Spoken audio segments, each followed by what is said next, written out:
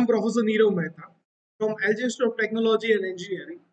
In today's session, we're going to discuss about subject called Automobile System Design. In this particular subject, we are arrived at the topic called suspension design. In that particular suspension design, now we're going to look at leaf spring suspension. So first of all, what is leaf spring? Leaf spring is a type of a shock absorber which provides not only absorbing effect, shock absorbing effect, but as well it is provide it provides support to our vehicle. I hope you understand the support to our vehicle. So here in this case, here while designing this leaf spring, we'll have different consideration for that support as well as to that shock absorbing capacity. Now it compared to coil spring suspension system, leaf spring suspension system is a more of a you can say integrated part of a vehicle body. This leaf spring is used when our vehicle has higher amount of load carrying capacity. So while designing this leaf spring, we are not only considering that vibrating or shock absorbing effect, but as well as we will consider it as a beam. Here there are two types of beam we will going to consider for the leaf spring. One is a beam which is called cantilever beam and then simply supported beam. So before getting into this design and consideration, let's talk about working construction and different principle where we, on which our leaf spring is to be designed. I hope you got this leaf spring diagram clear. Here our leaf spring diagram. This is the leaf spring which is combination. So leaf spring is a basically a combination of flat strip joined together in elliptical shape joined together in elliptical shape, shape which has a gradual gradual different length of different strips. So and it is commonly used in heavy vehicle or heavy automobile vehicle where load carrying capacity is higher. These lips are given that camber clear which is also called elliptical eccentricity to have that a strain under the constant load. So this elliptical spring will provide counterbalancing or counter stress to have to carry those loads which is transported through our axle. These leaves are held together with that axle by U-bolt and this U-bolt under area or length under the U-bolt is called as ineffective length because that length will not going to go under any kind of deflection or a stress when it comes to leaf spring. So once again, leaf spring are a flat strips held together in elliptical shape to provide that springing effect. The first spring in this leaf spring or first strip in this leaf spring is very much essential compared to those gradual lips because it carries maximum or it comes under maximum stress compared to other gradual lips. So that lips is called master lip. In practical purpose or in reality, there are two number of master lips. One lip is used to have that hinge joint or a hinge with our vehicle body and on another lip is mainly to take that stress or a bending stress. After those lips are called gradual lips. These gradual lips will comes under different stresses compared to or depending on that length. But these are not essential quality of our leaf spring because the stress should be equally distributed in our lip. So to make that we have to provide some adjustment to our master lips as well as our gradual lip. Here in this construction, here is a construction of our leaf spring where you can see there are two master lips and then gradual lips are there. Gradual particular diagram, you can see that there are multiple length of our leaf spring depends on this distribution of stress So first two lifts are called master lifts and then all the lifts are called gradual lifts. This master lift and gradual lifts are held together by U clips and where from where our load is acting towards our lifts. This distribution of stress will be different for a different length of lips. But to provide that equal, equal distribution of stress or equal distribution of that springing effect, we have this rebound clip. This rebound clip hold together are all the lips to have that motion or this springing effect to transfer to each and every plates. I hope you got this point. Clear? Here you can see load is acting through from the downward of our lift and distributed on each and every lifts. Clear?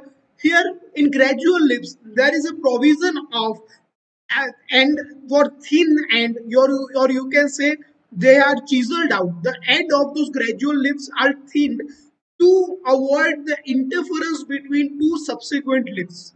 So to have that, to avoid that interference, we are providing that thin section to our end at the end of our gradual lifts. So they can have uh, free movement while they are under any kind of stress. So the length, total length here we are considering is 2L1 and the length under which our U-bolt is joined is small l. This length under U-bolt are called is called ineffective length. So to find that effective length while deriving the equation for our uh, leaf spring, we have to subtract that particular uh, length of U-bolt from overall length of our leaf spring. I hope you got my point. So the next point, let's assume the distribution of stress in our leaf spring. So the lowest lip which has the smallest length will comes under minimum amount of stress and the highest lip which is also called master uh, lip comes under maximum amount of bending stress. To avoid this, we will provide different provision because in our design or in our consideration, while calculating stress, it should have always equal, equal distribution. Clear?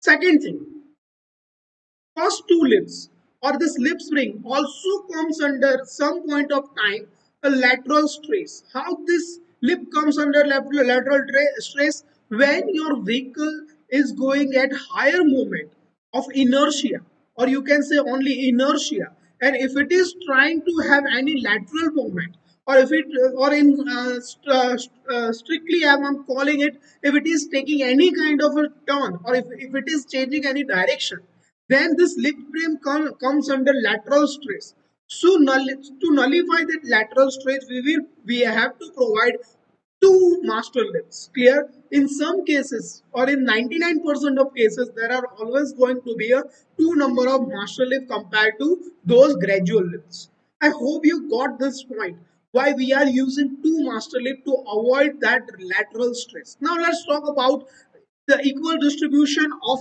this stress. To have that equal distribution of stress, we will provide positive stress to upper lips or you can say more you can say a master lip so we will provide positive stress to the master lip as well as the thickness of two of those lips or a master lips should be lesser compared to gradual lips so this is how we cover up this different type of stresses I hope you got this construction and working of this leaf spring. Next, let's talk about nipping of this leaf spring. What is this nipping? So what is this nipping effect? Nipping is nothing but a, a or area or you can say gap created between two consecutive leaves that is called nipping. If I am if I am constructing this leaf spring for a same amount of elliptical curvature for each and every leaf, then you will have or we will have a gap between each and every lips. And due to this gap, the equal distribution of stress will not going to take place. So to have this equal distribution of stress, it shouldn't be having any type of nipping between two lips. Clear? So to avoid this nipping, we are providing two different provision or two solutions. First solution, upper lips should be gradually thinner compared to lower lips. Clear? Or you can say master lip compact, comparatively thinner with gradual lips. Second provision is to provide positive stress or initial stress to upper lip so that after coming under that stress it will comes under stress relieving position. I hope you got this point. Here you can see this dotted line which is the initial position of our lip and which have this master lip which have more stress placed even at free condition compared to gradual lip to compensate that excessive amount of stress which is provided through our axle so that it can have positive stress after which is comes under any kind of stress. So that negative stress and positive stress will will make our leaf spring to have that equal distribution of stress throughout our suspension. I hope you got this two point. Clear? This two point will contain seven marks in our gtu examination so from gtu point of view this is most important one of the most important theory here, I hope you understand each and every point very well. If you are having any doubt regarding to this leaf spring, you can directly contact me or, uh, or message me. Uh, in next video, we will have design or construction or you can say derivation of design of this leaf spring. So here, this particular session, I have took a reference of the machine design by R.S. Khurmi. and if you if you want to have different resources you can have uh, design machine element by vb bhandari and auto design by rb gupta i hope you understand each and every point very well i'm stopping here thank you thank you so